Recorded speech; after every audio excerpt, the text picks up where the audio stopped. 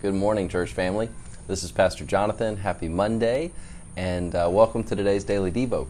As we continue to work through Jesus' Sermon on the Mount, we come to what has been uh, one of the most impactful passages uh, for me for a long time. When I was in high school, I battled anxiety.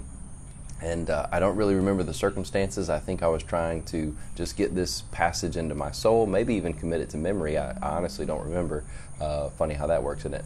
But I remember sitting in Miss uh, Vicki Fowler's senior high government class, uh, writing this passage over and over in my notebook, uh, verse by verse. I would write it in print. I would write it in cursive, uh, and I distinctly remember just poring over these words because for someone who has a tendency to worry uh, or be anxious, uh, these are very comforting words uh, from, from the mouth of Jesus, our Lord, uh, but also challenging. And so we're going to see what these words have to tell us today. Therefore, I tell you, do not worry about your life, what you will eat or drink, or about your body, what you will wear. Is not life more than food, and the body more than clothes? Look at the birds of the air. They do not sow or reap or store away in barns, and yet your heavenly Father feeds them. Are you not much more valuable than they? Can any one of you, by worrying, add a single hour to your life?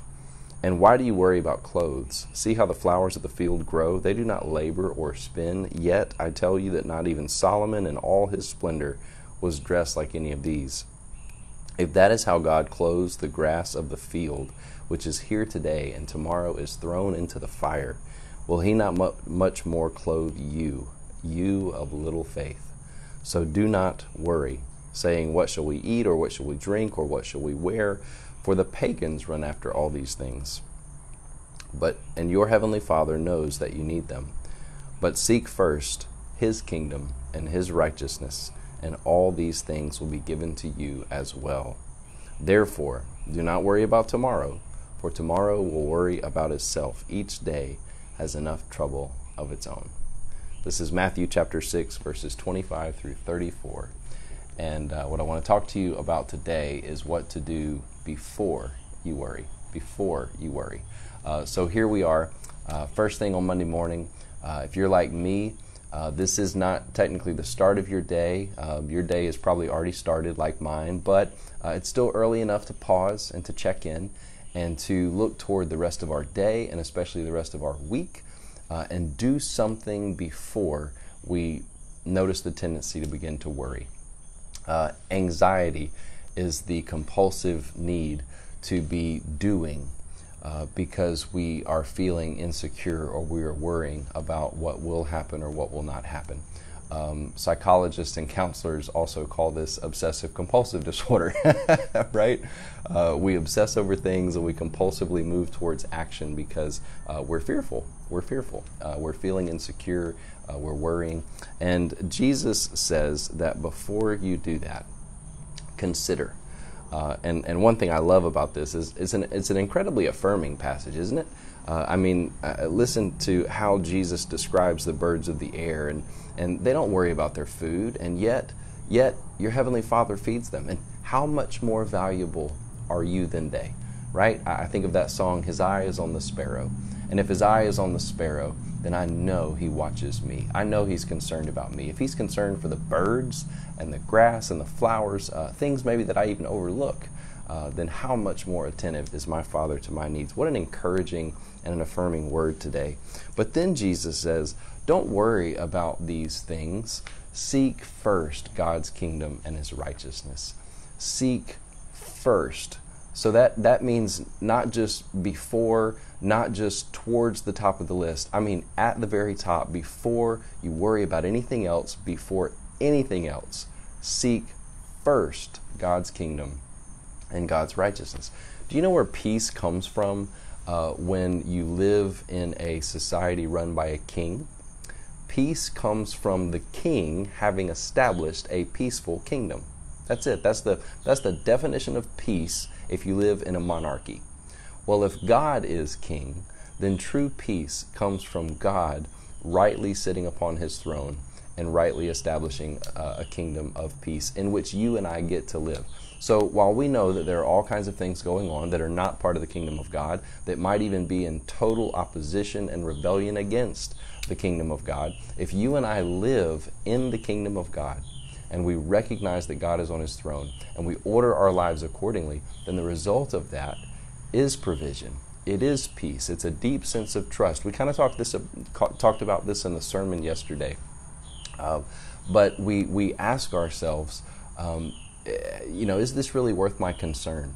Uh, how much does this really matter? In other words, or is this really mine to control?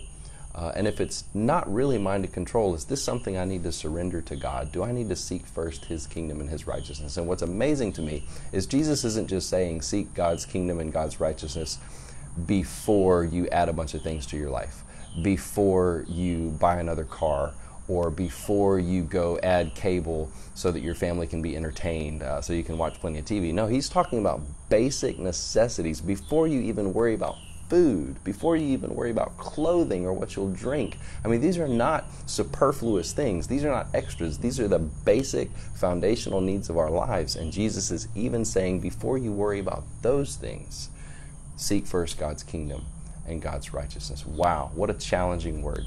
So I would invite you as you begin this day and as you begin this week to just ask yourselves prayerfully what does it mean to seek God's kingdom and God's righteousness before anything, even so much to the core of my being, so much to the core of the orientation of my life that before I worry about what I'll eat and what I'll wear, I'm seeking God's kingdom and God's righteousness. One thing that I challenged us to do yesterday uh, in the sermon as we worship together uh, which, by the way, that video can be found at our Facebook page and also our website, also our YouTube channel at Robertsdale UMC. Uh, but one of the things that we did at the end of the service is we prayed together the Serenity Prayer, the Prayer of Serenity. Uh, it can be found on the Celebrate Recovery website, celebraterecovery.org.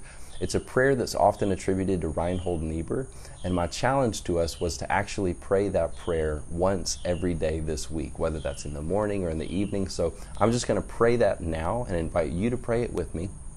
And uh, no matter when you're watching this video, whether it's morning or evening or even the next day, this prayer is good for us right now in this moment.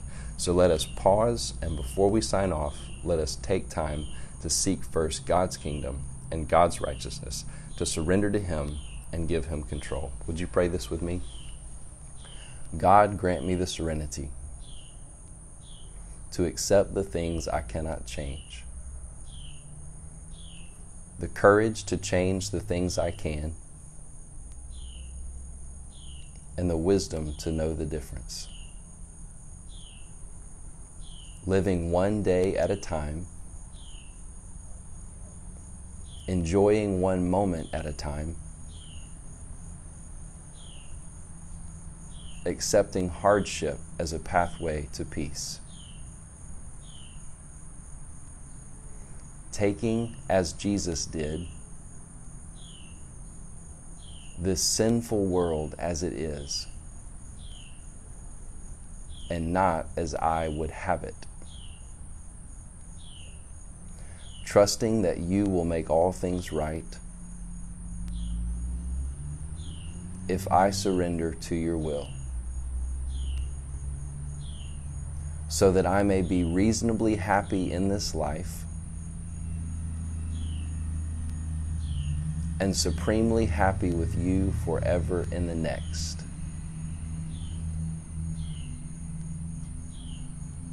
Amen. God bless you today. This is Pastor Jonathan. Grace and peace.